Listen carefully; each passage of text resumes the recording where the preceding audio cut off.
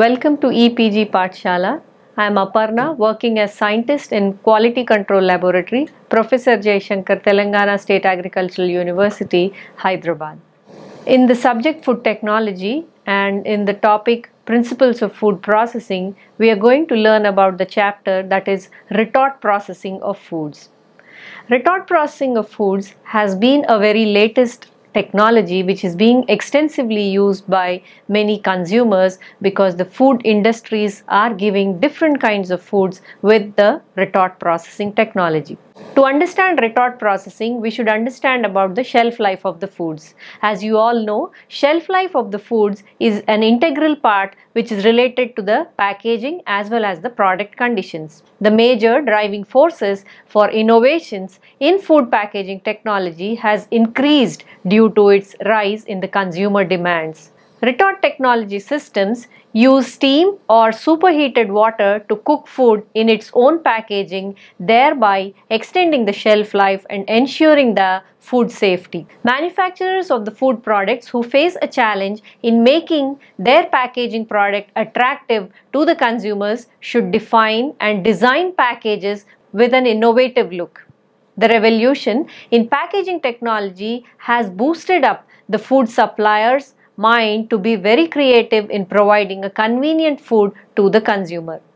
In fact, most of the grocery shops or the supermarkets want the food that they buy from the manufacturers to be as convenient as possible, which requires very little cooking time. In fact, from the consumer point of the view, the less time they spend to prepare a meal, the better it is. As mentioned before, new advances in technology of packaging has begun to transform the marketing and goods of the food products. Retort pouch technology is definitely a new solution to meet the consumer's demand which will help the consumers save their time as well as energy apart from giving them convenience in preparation of their meals. Autoclaves which are known as retorts in food industries have been a major technological feature of the preserved foods for more than a hundred years now. Indeed, the first documented use of heat to preserve foods in commercial application dates back to the Napoleonic Wars during the early 1800s which has been a reliable and straightforward methodology ever since. By the time of Waterloo, British troops had canned rations and these also assisted many of the 19th and early 20th century explorers to reach their destinations. It was the confectioner Nicolas Appert in 1804 who sealed glass jars with pitch and discovered a way of keeping the food such as mutton, chicken, vegetables, milk, etc. from spoilage. Then in 1810, Peter Durand was granted an English patent for the metal can which with a few minor differences is still the most common container for preserving foods even today. But it was not until Louis Pasteur in 1854 who demonstrated the effect of microorganism spoilage on milk. And it was then we understood that why heat is such an effective and safe form of preservation. Over the years, we have seen introduction of new generation of materials such as pouches, plastic pots, trays, etc., which are allowing more convenience, better product quality through reduced processing time, reduction in cost for food manufacturers, and better surfaces on which to provide the increasing depth of information that the consumers and the marketers are demanding. Apart from retorts, which are the batch operations where the product is introduced in a crate or in a basket, there are also continuous systems such as hydrostatic, continuous rotary and hydrolock systems but these are universally used for metal cans and have not been widely used for successful and novel applications of food and retort processing. Today, in this retort processing, we will also learn about the types of retort processing. Let us see what are the different types of retort processings which are available. There are three basic retort processes. One is the steam, second one is the falling water and full water immersion systems. There are also subdivisions within each of these categories which include the steam, air, steam spray, water spray and half immersion systems. It, it is emphasized that all the processes except the st simple steam will work on all of the current container formats. So there is not necessarily a wrong process for the novel applications especially for retort processing. However, it is clear that some principles of transferring heat to the sealed containers do have advantages over others when specifying particular packaging media. This is particularly so when we are choosing between rigid, semi-rigid and flexible packaging formats. While the tin can is processed in all three heating mediums, plastic pouches, CPET that is the crystalline polyethylene terephthalate trays are used for ready meal preparations and productions which have different requirements. Now let us look at the each of the retort processes. The first one is the steam process. Coming to the steam process,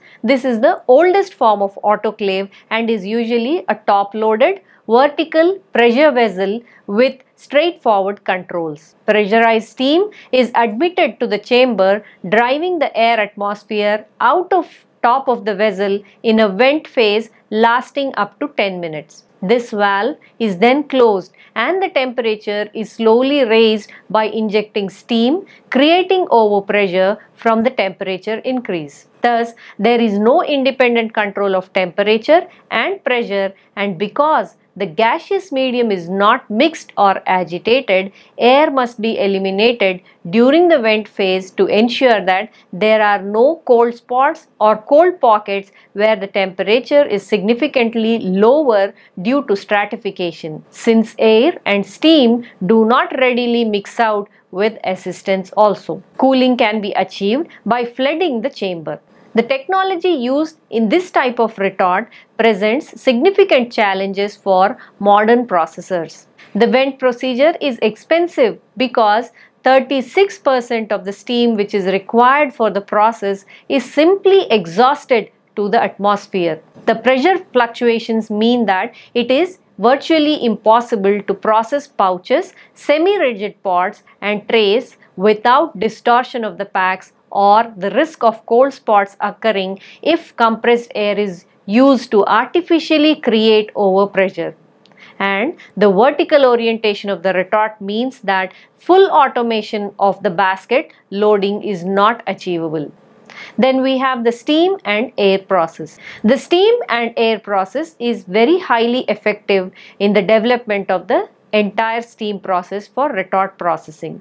The differences from the steam retort are the horizontal vessels and the quick opening doors will facilitate the loading as well as unloading of the baskets, force steam circulation and most importantly independent control of temperature and pressure is also possible. The steam air process was patented by Lagarde Autoclaves in 1972.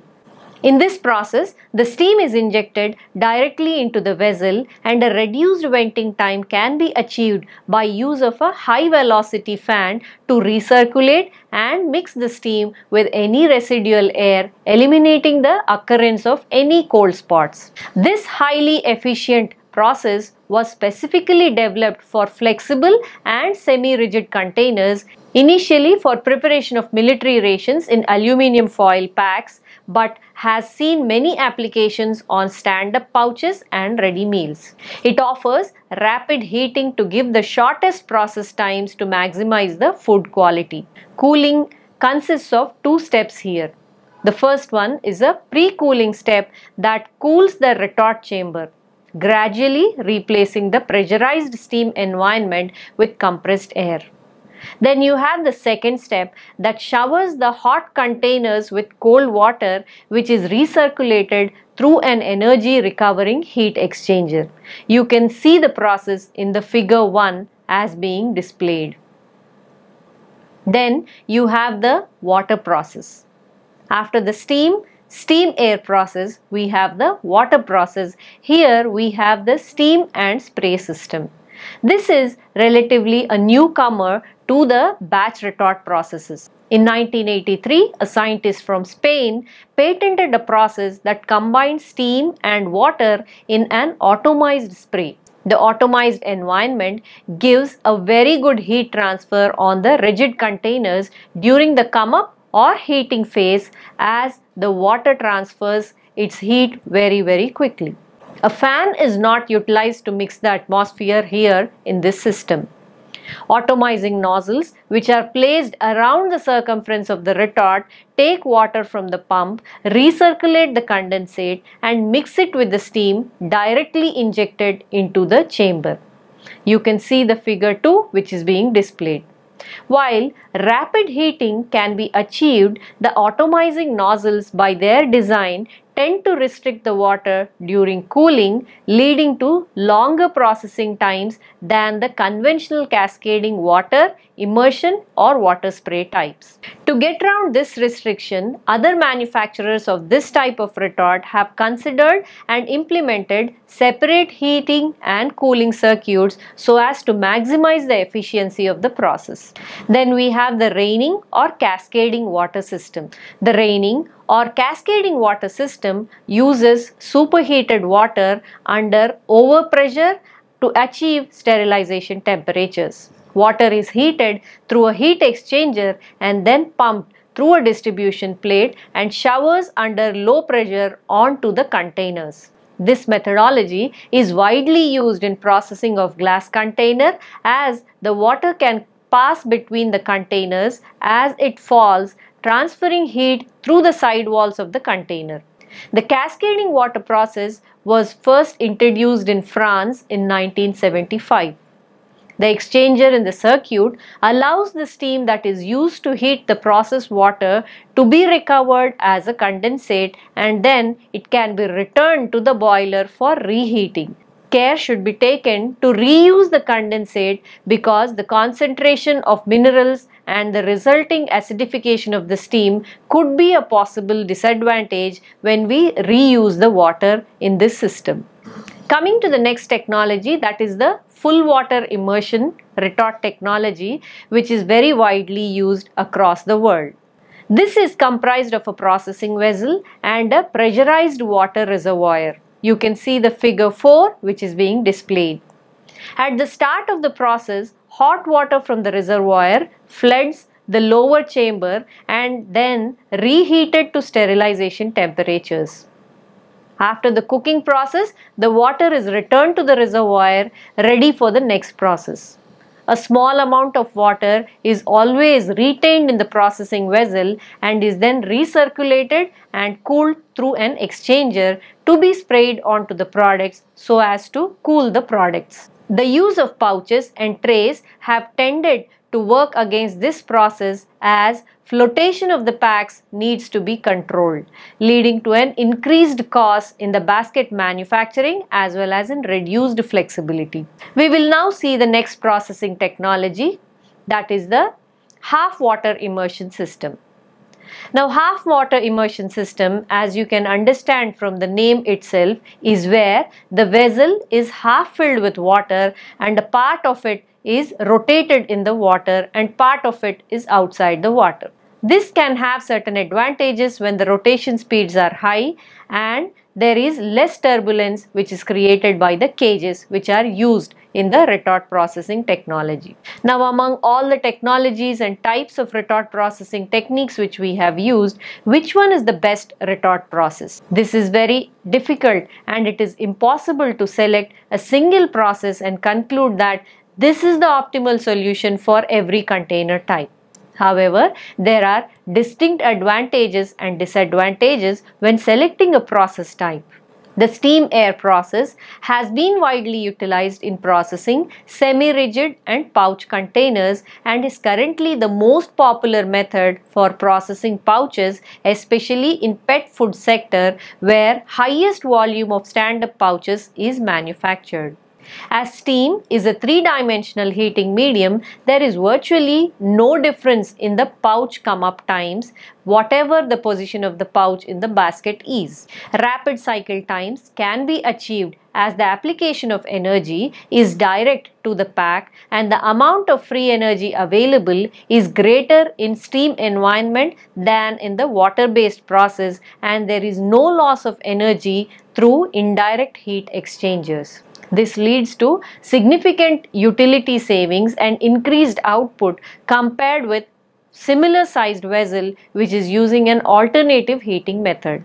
It must also be emphasized that recirculation fan is critical to effectiveness of the entire process and various safeguards to ensure fan operations are usually incorporated by retort manufacturer itself for both rotation as well as for the load maintenance. In addition, many novel containers which have plastic laminates with gas barriers that are sensitive to water at high temperatures so a steam process is less invasive at temperature than either cascading water or full water immersion as the rate of condensation at the hottest part of the cycle is lowered. The steam spray process gives good distribution during the come up but the pressure on each nozzle is critical to obtaining the correct atomization. In addition, there are concerns with flat containers and also the so-called umbrella effect where during the come up and hold flat packets such as trays and pouches are usually shielded from the atomized environment due to the packs above them which will inhibit the flow of the steam or the heated spray. Even with side sprays, good penetration cannot always be guaranteed where the layers of trays or pouches are tightly packed. Apart from that, maintenance of nozzles to ensure that they remain free of scaling or any other particulates is very very critical. This is somewhat very difficult and without entering the retort and removing the nozzles, it is very impossible to see the nozzles whether they are blocked or whether they are proper.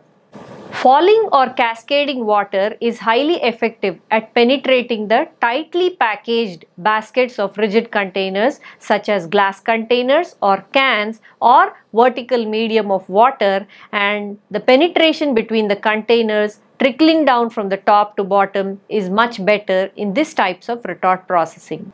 Good thermal distribution is achieved by high flow but the reservations are similar to those with the steam or spray processes when pouches or flat pots or the trays are used. Here the umbrella effect has to be again considered. Many of the problems with the umbrella effect can be overcome by using rotating retorts where due to the containers turning end over end, water can penetrate more easily. By design, the water spray process means that products can take longer time to heat than in the steam retort as the water has to be heated prior to being sprayed onto the containers or heated during the spraying if the product is cold or if the heat is lost throughout the exchanger. The immersion process is very good one for delicate heating for products and containers as well. In heavy loads, the water immersion route does give some kinds of additional support to the weight of the containers but this is often countered by slow processes time which is inherent when heating with such a large body of the water. In addition, with poorer nature of the seal qualities on the semi-rigid and pouch containers and contaminated water being transferred from batch to batch, leakage is an issue with coloring of the white plastics or white packaging material. There could also be sticky residues on the packages as well as water migration through the seals that makes the application of full water immersion for low temperature pasteurization more complicated. So the packaging material has to be very carefully selected if we are using the full immersion system retort technology. To overcome all these issues, there are certain new packaging developments which have happened over the years. with the use of thinner gauge glass and metal containers to reduce the cost of packaging and with the adoption of so many plastic containers, retorts also have been changed rapidly to accommodate to more accurate and shorter processes required along with the new packaging materials which have been evolved over time. The level of control directly affects the failure rate of semi-rigid or flexible containers.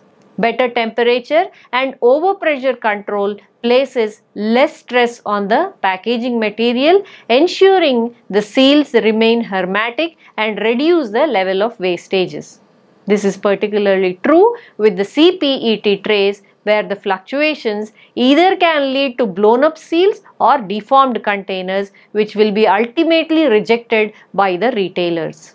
The wider use of recyclable plastics in the food, dairy, beverage applications, they also require accurate processing and also the screen printed containers have been better served by steam rather than by water based processing. The stand-up or Doypack plastic pouches have emerged as one of the major alternative formats to glass and metal rigid containers. The most successful products have been pet foods and the carbohydrates such as rice and the pasta. Indeed, the recent data shows phenomenal growth in the sales of pre-cooked rice, pre-cooked pastas etc. and the annualized rate of increase in the growth has been estimated to be beyond 25% per year. Stand-up pouches require careful processing at poor pressure control because if this is not taken care of, failure can be possible with the stand-up pouches retort technology. As the heat penetration time to the core is so short, the process medium chosen needs to reflect this and it should be able to supply large amounts of energy during the heating stage very rapidly with minimal thermal lag between the top as well as bottom of the basket. A difference in internal temperatures of each peak will, will lead to varying amount of overpressure requirement which is impossible to resolve in one common environment. The accurate control of retort pressure is therefore very very crucial to success. We have other new containers like the Tetra Recart which also requires specific thermal processing solutions to avoid the damages. A paper-based container in a wet, hot environment is not usually a good combination. However, the laminate makeup does allow full sterilization though care has to be taken not to damage the packs and to avoid too much water at high temperature coming in contact with the inks which are present on the top of the container. Damage to surface during filling can also result in leaking of ink running during the process. Most of the retort manufacturers have recognized that retort control is very crucial for new style containers and much effort is being made to use the latest electronic hardware to ensure the accuracy. The ability to reduce the process times to optimum is a very driving force for the food and consequently for all the autoclave manufacturers. Apart from these new packaging technologies, there are some advances and advancements which have happened in the retort technology also. The retort manufacturers try to evolve their equipment continuously so that the retort available today is significantly different from the machines which were available 10 or 15 years ago which will suit for the current manufacturing procedures and formats. The fact that the design life of a retort is usually anywhere between 25 to 30 years, it also steers the new requirements and new developments. Let us now discuss about some of the latest retort developments. The first one is the dual process. Now coming to the dual process retort technology, most retort manufacturers are very happy to argue that their process design, whether it is steam based or water based, is optimum process for any type of container or product. But this can be quite easily disproved because it is totally relevant to the kind of packaging and kind of the food which is being retort packaged. We know in general terms that steam or air is good for plastics and pouch, water is good for rigid containers such as cans and glass. But surely the optimum is a mixture of both. Water immersion retort manufacturers have offered the ability to shower or immerse products for a number of years but recently, Lagarde autoclaves have pioneered the development and installation of dual process retorts that can use either steam or water processes at just a touch of the button. You can see the picture which is being displayed. The first installations have been traditional to the food canners with an eye to divert some of their products into more convenient or modern pack formats such as pouches or polypropylene based bowls.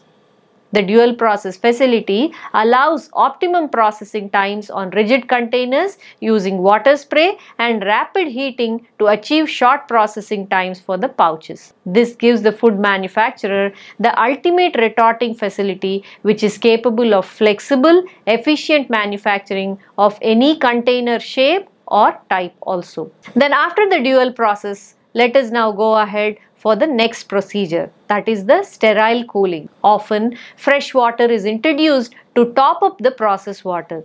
An internal preheating system can be fitted to pre-sterilize the fresh water to ensure sterility in case of sensitive packaging materials or double safety on the infant food products or such kind of food products. These exchangers can also be used as indirect cooling systems for applications where water is not desired to be in contact with the container. Some vented food packs are especially sensitive as the vent is opened during cooking but needs to be closed by fall in temperature to ensure a hermetic seal. In traditional water cooling, there would be a risk of water passing through the vent before it is fully closed with consequences of contamination of the food packets. Then we have the rotary retorts. The rotary retorts is again a different kind of retort processing technology. With requirement of shorter process times for better quality, the average speed of the basket rotation is increasing.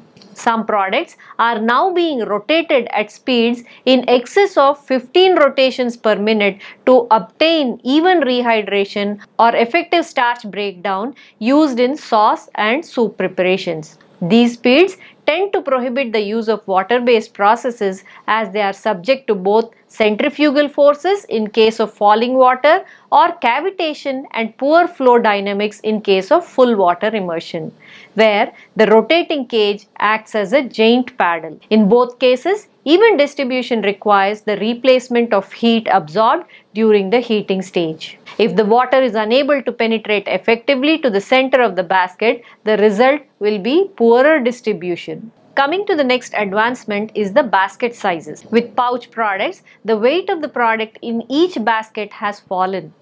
But because of the need to contain pouches within individual pockets to avoid damage in the rotary retorts, the overall basket weight has risen. This has placed additional stresses on mechanical components within the rotary retorts. The retort manufacturers have fairly common design for drive system of the internal cage inside the rotary retorts. You can see the figure 6 as displayed. Here, the cage shaft is powered by a rear mounted external drive through a mechanical seal. As you can see, the front of the cage is mounted on two rollers and traditionally these have been mounted inside the pressure vessel. A number of manufacturers have now mounted these wearing parts externally in separate pressure housings allowing easier maintenance. The heaviest loading however is for processing the glass jars. Line speeds continue to increase and this requires bigger basket capacities. Pouch basket capacities continue to grow as food manufacturers try to gain greater efficiencies from each process. The latest retorts are now capable of processing around 3600 into 400 grams of pouches per single batch. After seeing the advancements in the retort processing technology, let us now see what are the future trends for this retort processing. Over the last 10 years, there has been a significant change in the profile of the retort users. Previously, an exclusive ambient food club's retort ownership has diversified to such an extent that many of today's major installations are on the chilled pasteurized products such as ready meals, ready to consume soups and vegetables or in component processing for use in the production of other foods like rice, protein, vegetables, which are cooked prior to inclusion into the recipe dishes. Additionally, the food service sector has been looking at methods of extending life and making the distribution chain more efficient. Traditionally, the products have been delivered into restaurants or any kinds of hotels or markets which are needed to be ambient or frozen. But the increasing use of microwave ovens for food preparation has increased the usage of chilled prepared meals. Hospitals and schools are also searching for more healthier foods but with further cost saving. Then other things like reduction of salt is again a very major factor in the food processing industry where the consumer is looking for very lower amount of salt in their foods. Then apart from that 14 days of shelf life at retail outlets with no discernible reduction in the quality or flavor is another major advancement.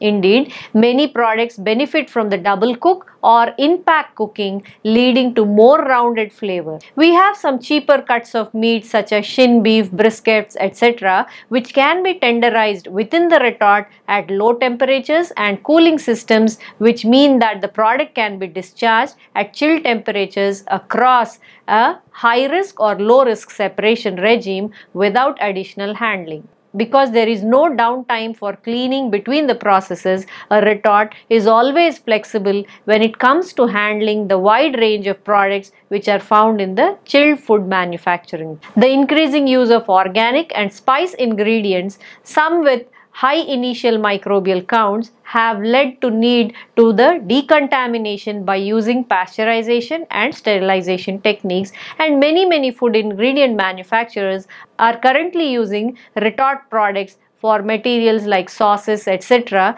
in 5 to 10 kg pouches. Hot filling at 85 degrees centigrade on these types of products is not necessarily enough to eliminate yeast, molds and other spoilage organisms. Many governments due to increasing prevalence of the degenerative disorders like obesity, cardiovascular diseases, etc. are asking for reduction in the salt in the processed food contents. Chilled products are now under intense scrutiny by officialdom as well as in the media with all these concerns taken into the effort.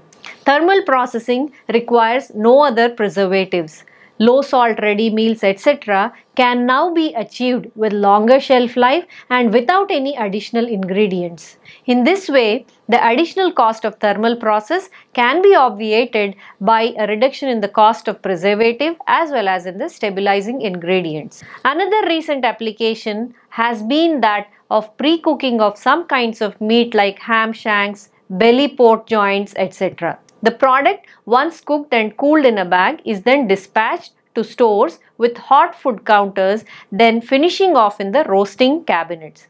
The process not only reduces the cooking time but also ensures the product safety as well as quality without variability.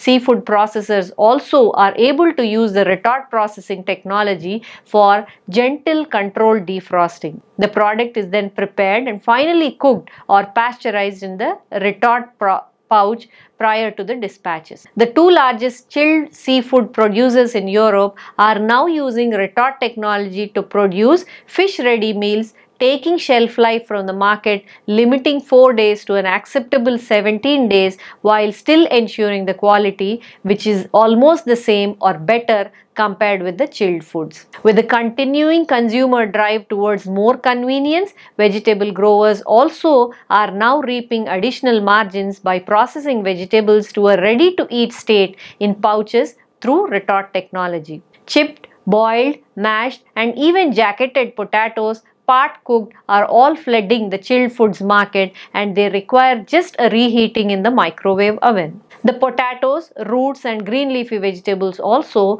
are processed to offer maximum convenience. The main aim of the retort processing is to give good shelf life, minimal cooking time along with convenience while retaining the structure, color and nutrient content of the foods. Retort processing has been extensively used since many many years and now it is being more extensively used for only the convenience of the customers. Coming to the conclusion of this entire topic after learning about what retort processing is, types of retort processing, what are all the advancements in retort processing, we will now just see the summary and overview of the entire topic. So today's topic we have learnt about what retort processing is and we have also seen the types of retort processing. We have seen what are the advancements in the retort processing and we have seen the various applications of retort processing in food industry. For further information you can refer to any principles of food processing book